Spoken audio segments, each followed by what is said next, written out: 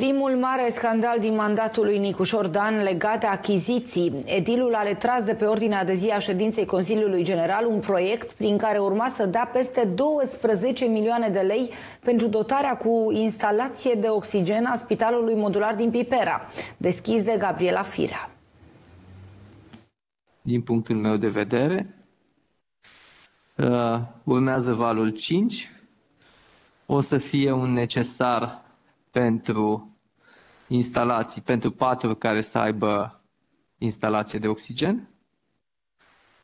Și uh, soluția cea mai rapidă este pe acest uh, spital modular din Pipera, Nicu Șordan convocase ședința Consiliului tocmai pentru a trece acest proiect. Primarul susținea că aceasta era o solicitare din partea executivului. Investiția ar urma să fie realizată de Administrația Spitalelor și Serviciilor Medicale București, companie înființată de Gabriela Firea. Mai adaug că este o solicitare expresă a guvernului, chiar a primului ministru, ca în cel mai scurt timp să asigurăm aceste paturi cu oxigen. Fiind această chestiune urgentă, am luat singura ofertă pe care am avut-o, cea de la compania de consolidări. Proiectul a fost retras de pe ordinea de zi de primarul Nicu Șordan, deoarece USR Plus nu a fost de acord cu acesta. Dată fiind poziția USR,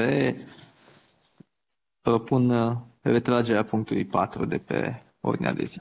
De altfel, proiectul a fost criticat și din interiorul USR-ului. Viceprimarul Bucureștiului, Horia Tomescu, a anunțat că USR Plus nu este de acord cu investiția și că vor vota împotriva sa în cadrul Consiliului General al Municipiului București. Această investiție nu este oportună și că a pune o instalație de oxigen într-un spațiu care nu este conform și care pune în pericol siguranța personalului medical și a pacienților pe care uh, i-am duce acolo în câmp, uh, nu este susținut de către noi.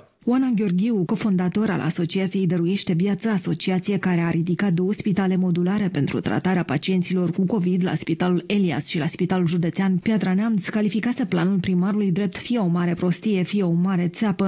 În primul și în primul rând, acela nu este un spital modular, cel de la Pipera. Sunt niște containere puse într-un câmp, uh, departe de, de un spital, departe de orice infrastructură uh, medicală, uh, cu niște instalații făcute fără izolație care îngheață, iar uh, costul anunțat de uh, primăria capitalei prin ASSMB de 2,4 milioane de euro este revoltător. Avem ce să facem cu banii ăștia, trebuie uh, ce să facem cu banii ăștia, trebuie uh, consolidată situația spitalelor existente în București.